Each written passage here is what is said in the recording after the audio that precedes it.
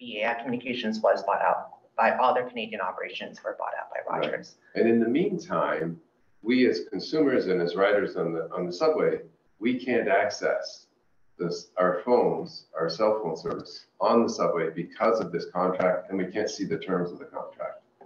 So is that a fair summary of where we're at? BAI Communications offered for all big three to sign on and use their infrastructure to share on the infrastructure. The big three refused. They cited capacity constraints on the existing infrastructure. It is on the 4G standard, not on the latest 5G standard, uh, but we don't really know how valid their concerns are. So the opportunity for universal coverage for all providers was given many years ago under BAI. um, but these, the big three really prefer to own and operate their own infrastructure. Thank you. Thank you. Uh, We're at time. Thank you so much for your presentation, for being here again, and for the work of TTC Riders. We appreciate it. Thank you for this opportunity. Thank you. Thank you. Okay, so we're going to be moving to Zoom. Uh, Our next presenter is present. Okay, so we have Patty Coates from the OFL. Thank you so much for being here. Thank Please tell you. us about yourself, and Yes. uh, you've got five minutes. Great, thank you. Uh, Thank you very much for having me here. Uh, My name is Patty Coates, and I'm the president of the Ontario Federation of Labor. The OFL is the largest provincial labor federation in Canada. It represents 54 unions and over 1 million workers. And I'm pleased to join this hearing today because it addresses an urgent cost of living issue that affects all Ontarians. In today's economy, all workers need affordable and reliable access to the internet and cell phone service, no matter where they live or their field of work. it has become an essential service for education, healthcare, information, safety, and security. Not to mention the day-to-day communication with coworkers, family, and friends.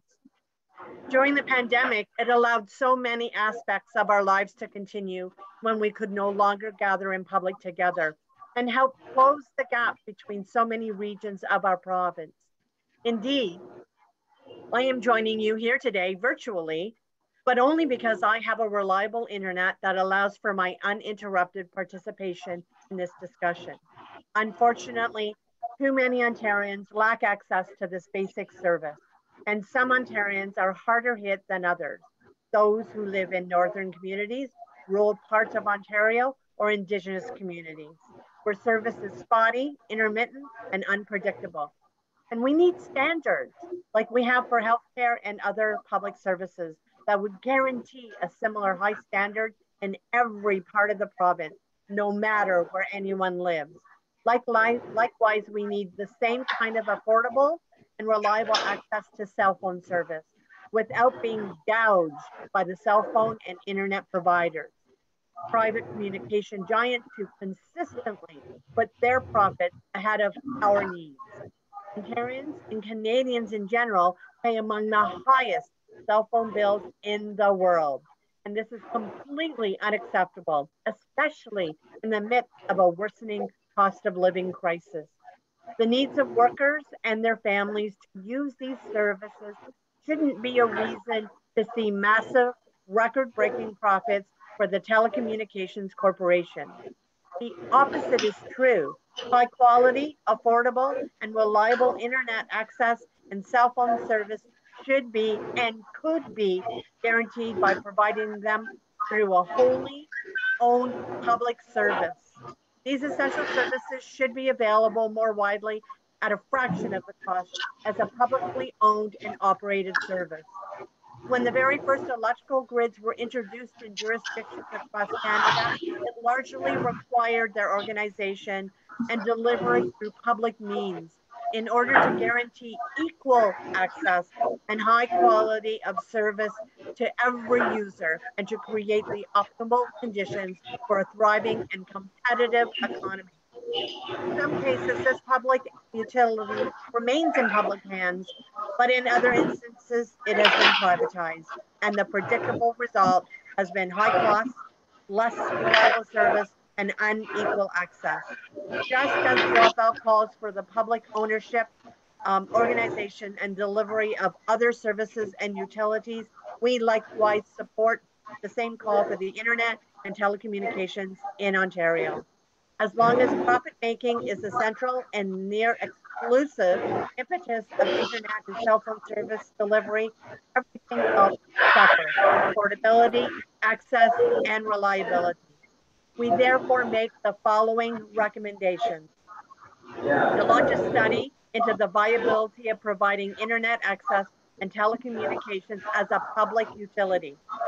Develop a legislative program that in the interim would re-regulate internet and cell phone service delivery in Ontario and create minimal guaranteed standards for rapidly access and quality in regions and communities in Ontario that currently lack it and create a consumer's bill of rights with respect to telecommunication services that would clearly demonstrate uh, our shared expectations for affordable, accessible, and reliable internet and cell phone service in every region of Ontario.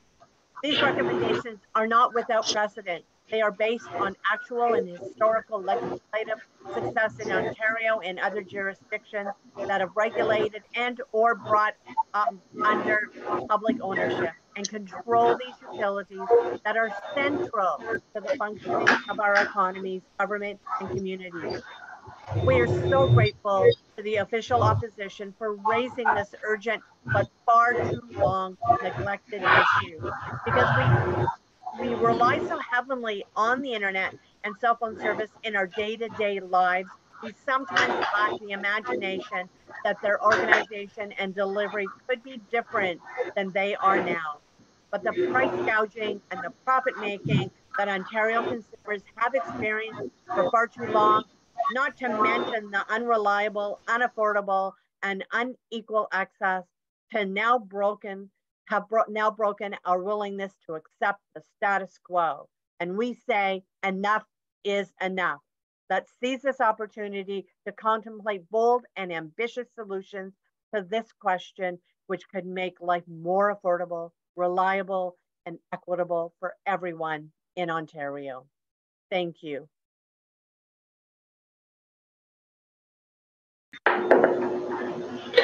Thank you very much for your presentation and thank you so much uh, for the work of uh, OFL uh, under your leadership uh, in advocating for the rights of workers and all Ontarians. Uh, much, much appreciated. Um, we'll move now to questions. We have a shortened question uh, period. who would like to begin? Okay, so Patty, thank you so much for, for being here. Thank you for your deputation. You've got a couple of recommendations. You're talking about a wholly owned public service. And in Ontario for 90 years, or, or actually almost 100 years, we had public hydro. And it provided low cost for the most part until it started to be broken up and privatized. It provided low cost, reliable service to everyone in Ontario. And what we've got with the rollout of the internet and the cell phone service across this province is because it's all run by private the private sector. There's no profitability in rural, remote communities. And so they have either no service or very unreliable service or very high cost service. So is it the Ontario Hydro model that you're proposing that we have something like that, but for internet and cell phone service? what we believe is that this should be a public service. It we know that when there is profit, uh, the profit needs are higher than the consumer needs. And we all know I live in a rural area and I don't have the, the, the uh, fiber um, optics. I, you know, I've had for years and years, up until just a few years ago, like somebody else said earlier, I've had I had to go to a certain um, wall in my home to be able to get cell service. Um, internet, um, when I was with one of the big um, telecommunications company, um, I wasn't getting the, you know, the service that I was paying for. And they would say, oh, well, there's, you know, hundreds of people on that same line. Uh, and so, you know, we're not getting what we pay for. And we pay the highest costs um, in the world. I have friends in the States that pay almost nothing, you know, $40 for cell phone service that's similar to what I get. Um, and same with the internet uh, service. And, you know, I think it's really important. We saw through the pandemic when people started using Zoom more to communicate um, through the internet. And, and we you know, represent members and, and meet with members all across Ontario. We saw that in, in many of the rural communities and northern communities, but also in Toronto, if you lived in an apartment building, your service at, uh, many times were interrupted. And I think when we take have profit out of out of the system and the needs um, of the people are put forward first, we would have a better system. Thank you very much. Um, we're just wrapping up with time, but uh, we have heard uh, your words very loud and clear about um, other options, including that of a public. And uh, one last comment, uh, in, in, out west in Saskatchewan, they do have a public model or a public option there as well.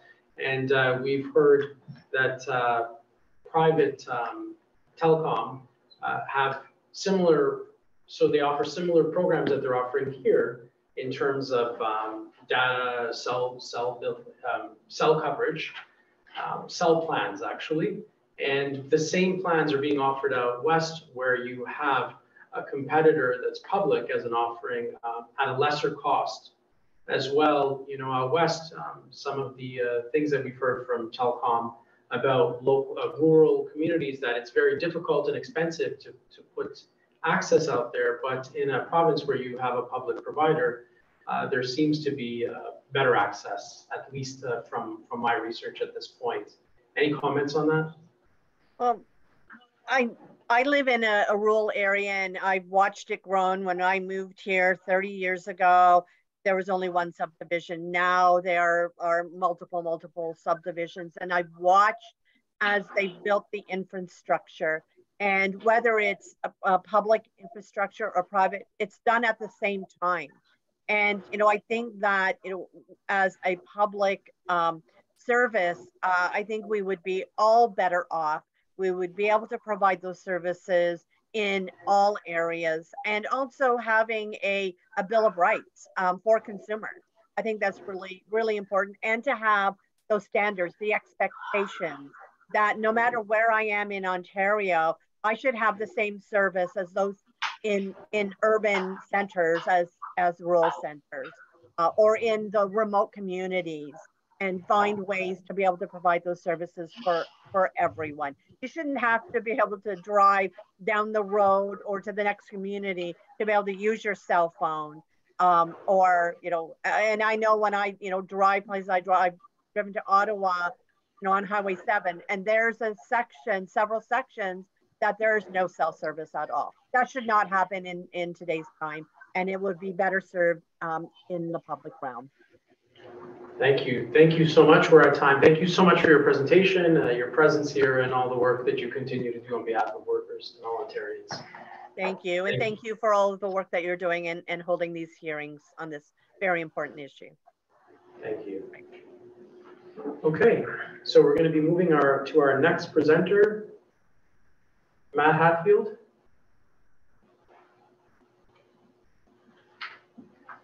Hello, Hi Matt. Welcome. Thank you. Thanks for hosting this event. Can you hear me okay?